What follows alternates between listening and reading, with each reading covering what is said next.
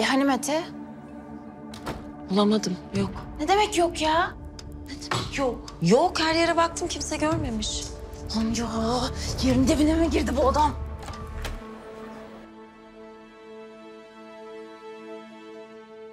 Varım.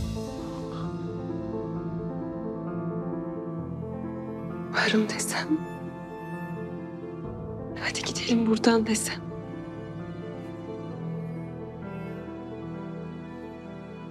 Nasıl öylece bırakıp gelir misin?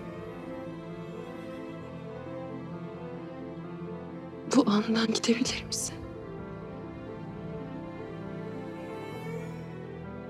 Gidemezsin. Ne sen bunu nasıl yapabilirsin? Ne de ben. Nasıl öyle hayatımızdan, aramızdan, hayatımızdan çıkaramayız. Olmaz. Olmaz. Eğer bunu yaparsak acısı çok büyük olur. Hayat bize bunun hesabını sorar. Yapamayız. Asıl ihanet bu olur. Biz ömrümüzün sonuna kadar bizi affedemeyiz. Ama böyle de olmuyor. Böyle de yapamıyoruz.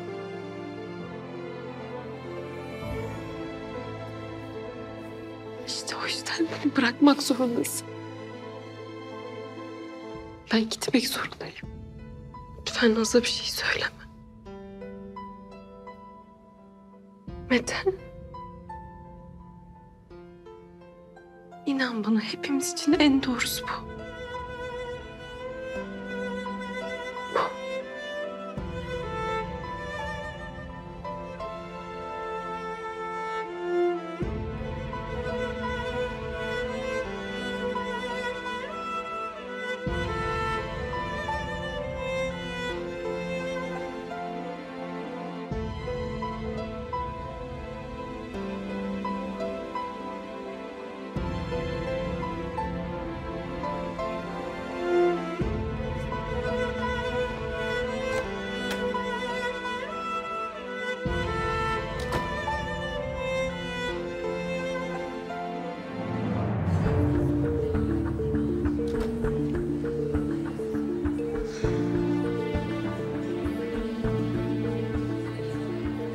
İnci de yok ortada.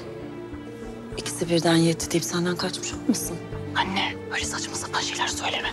Gelme peşimden bulurum ben kendim.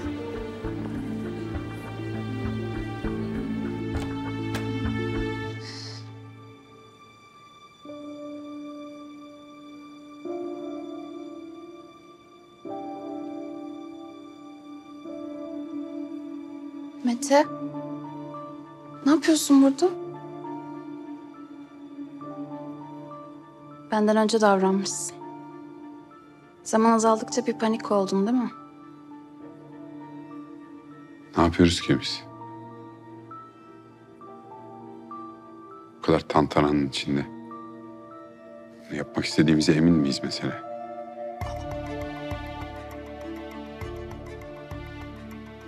Ne biçim soru bu? Şimdi mi geldi aklına bu soruyu sormak? Anne peşimden gelme dedim sana. Sen konuşma. Oğlum, istemeyi hızlandırdın. Düğünü hızlandırdın. Yangından mal kaçırır gibi koşturdun bizi oradan oraya. Sakin olun dedik, durun dedik, dinlemedin. Sen madem kendinde değilsin, emin değilsin. Biz niye koşturduk, niye buradayız şimdi? Anne bana bırak. Neyi sana bırakacağım ya? Neyi bırakacağım? Oğlum, Mete, sen daha ne kadar maymun gibi bizimle oynayacaksın ya?